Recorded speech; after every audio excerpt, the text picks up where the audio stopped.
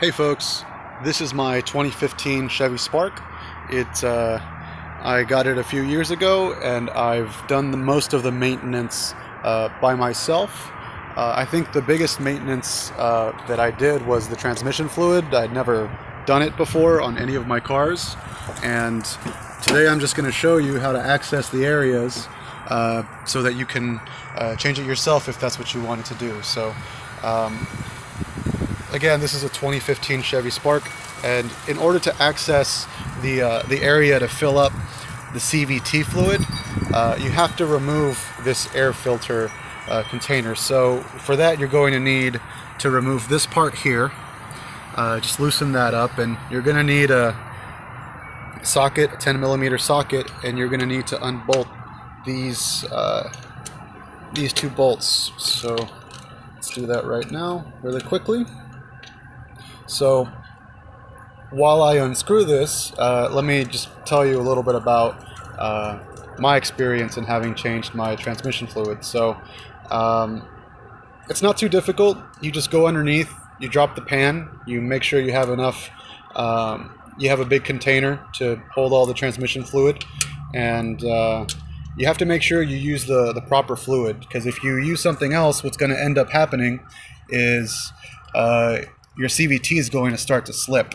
And by that, I mean when you're driving around, uh, when you initially take off, it's going to sound a little like a, a bit of a whine, and that's the CVT not really uh, having the proper fluid inside.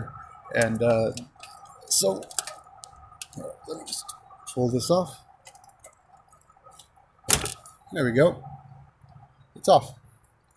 So, we've used our 10 millimeter socket uh, we used our flathead screwdriver to, you know, loosen that.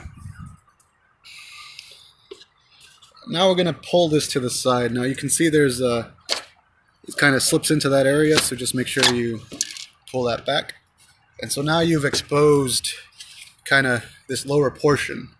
And what most people will see is just a bunch of stuff, but you know, what you're looking for is is that right there. Uh, you can kind of see it. That's where you fill up with a CVT fluid. And so you're going to need a tool, something with a 90 degree angle, like this. And this is basically like a little clip cap.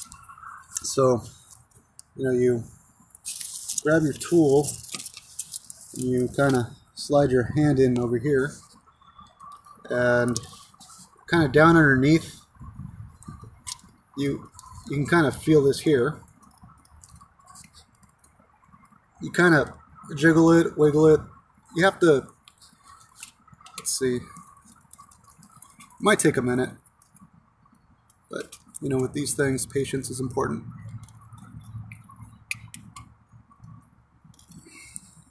I think I got it. Yeah. So once you use your tool, you can kind of see that the uh, the dipstick slips out. So you pull that out, and here you can see the uh, the fill level, the lower and the, the upper. And that's about it. So you just get a funnel, and uh, you know I definitely recommend you exploring this before you uh, you start. Just make sure you can find it, and that'll save you some trouble. Put it back on there. And the CVT fluid that you want to use is uh, is this one right here. This is left over, but it's um, AC Delco CVT fluid, 1040 92 1926 0800.